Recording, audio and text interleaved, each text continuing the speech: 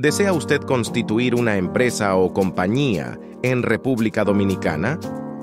Nuestra firma de abogados, Morillo Suriel, puede ayudarle a identificar el tipo de sociedad que requeriría o sea necesaria según su objeto de negocio. Usted podrá establecer su negocio a través de 1. Las sociedades anónimas. 2. Las sociedades anónimas simplificadas. 3. Las sociedades de responsabilidad limitada. 4. Sociedades extranjeras. 5. Empresas individual de responsabilidad limitada. Recuerde, si desea realizar actividades comerciales en nuestro país, debe constituir una sociedad o empresa para que su patrimonio se encuentre respaldado por la ley dominicana.